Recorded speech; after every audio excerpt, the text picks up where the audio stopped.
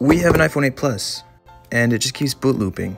The guy was sleeping and he woke up to it like this. Let's open it up and see what's wrong. Oh, open it up. Looks like there's a lot of water that got in. Unscrew. We're gonna try booting it without the front earpiece speaker connected.